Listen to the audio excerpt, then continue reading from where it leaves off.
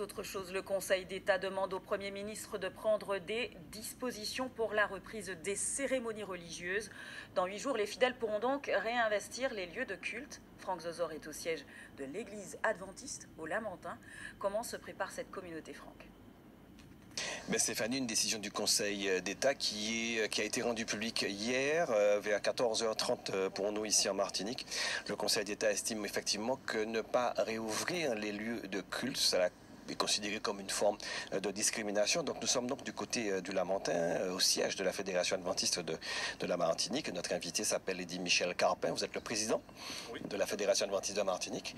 Est-ce que cette décision de reprendre le, culte, vous l'accueillez avec joie, je suppose, mais qu'est-ce que ça entraîne pour vous comme complication? Alors bien sûr, c'est une joie de penser à réouvrir, sortir du confinement. Je pense que tout le monde souhaite que cela se produise euh, le plus rapidement possible. Mais n'empêche que pour nous, en tant que communauté axée aussi sur la fraternité, euh, tous les gestes barrières et toutes les mesures qui devront être prises quand même euh, nous poussent à une certaine réflexion. Et même si le Conseil d'État aujourd'hui pense à une réouverture, mais en fait pour nous, ça s'avère vraiment compliqué.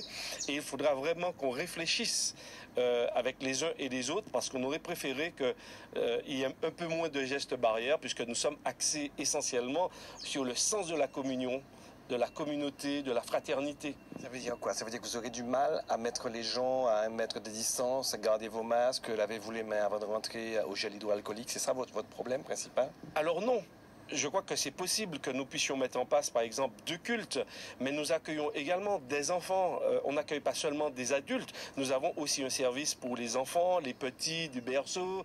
Euh, nous avons, nous accueillons également des jeunes, des adultes, des personnes âgées. Et, et c'est vrai que dans tous ces services, ce n'est pas toujours simple. Et en fait, se retrouver dans un lieu c'est très bien, mais on doit pouvoir aussi prier ensemble parce que chez nous, on fait la prière deux à deux, on chante également ensemble. Donc, on pense aussi à, cette vie, pas seulement au bâtiment. C'est possible de, mettre en place les mesures. Maintenant, derrière, comment est-ce qu'on va vivre la communion? C'est surtout ça la, préoccupation. Merci beaucoup, euh, Monsieur. Je rappelle que vous êtes le président de l'Église adventiste de la Martinique. Euh, du côté de l'Église catholique, euh, toujours pas de réaction, juste un communiqué. Hein.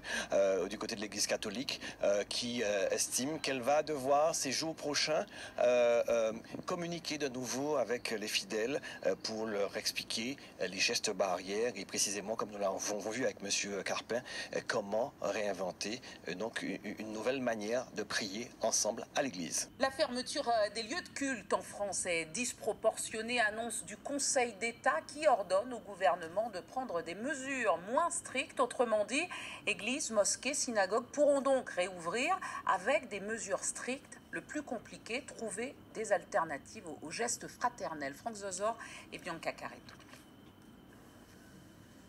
Le siège de l'église adventiste de Martinique. Depuis quelques jours, les responsables de cette fédération travaillent sur des mesures sanitaires qui leur permettraient prochainement de reprendre leur culte du samedi.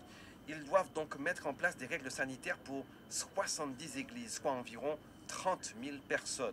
Et le plus compliqué, c'est changer ces habitudes fraternelles qui se manifestent à travers ce culte.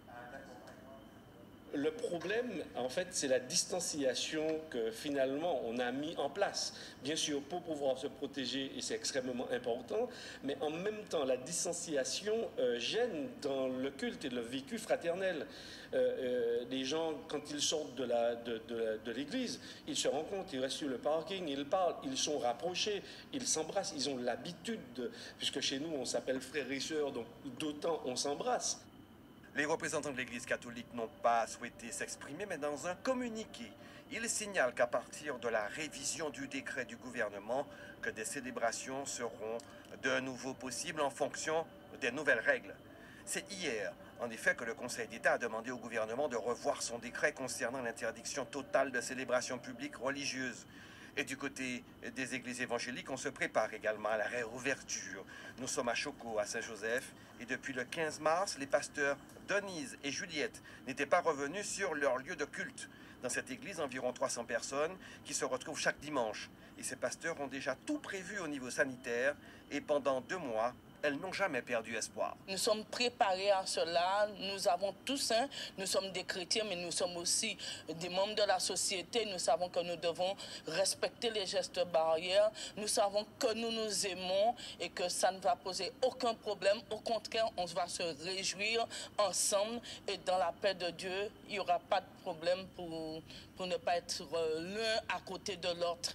Nous allons nous embrasser avec nos cœurs. on attendait à cette réponse parce qu'on a foi, on, a mené un bon combat de la foi dans la prière et on savait qu'il y avait quelque chose qui allait bouger, qui allait se passer. vous étiez confiante?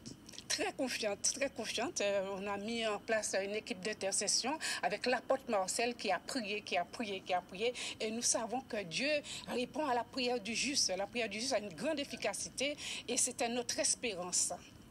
Le Premier ministre a donc huit jours pour écrire un nouveau décret encadrant la tenue de cultes religieux. Et pour les chrétiens, le grand rendez-vous sera très certainement le 31 mai, c'est le dimanche de Pentecôte.